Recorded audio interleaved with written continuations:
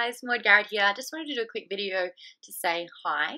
Um, and a lot has changed in my life the last couple of weeks, which I'm sure you're a little bit aware of, but there's a lot of questions floating around. So I thought I'd do a little video to quickly just uh, catch you up on what's happening in my life.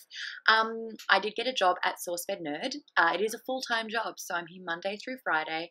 So far, I'm absolutely loving it. It is just so my jam. This is exactly what I'm about. We do a few videos every day, um, some topical news pieces, but also superhero roundup, which is television shows during the week. Um, you know, of the superhero variety, including iZombie and Flash when it was on, and Arrow when it was on also. Um, but that's continuing um, for the next couple of weeks as well.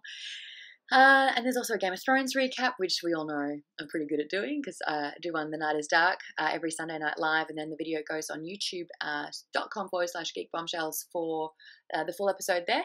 And uh, at work, also do table talk. Um, it's the best. These people are amazing. Uh, but a lot of people are asking if I've left AMC.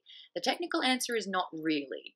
Um, so I haven't exactly left there, but trying to juggle doing a full time job and appearing on videos which I record at 11 o'clock in the morning or 3 o'clock in the afternoon is a little bit tough. So I'm still trying to figure that out. Bear with me because it's it's it's not as easy um, as I hoped it it would be. It's pretty complicated, um, but I'm trying to figure that out. And everyone's being uh, pretty pretty amazing about that. Because damn it, I want to have my cake and eat it too. Only human.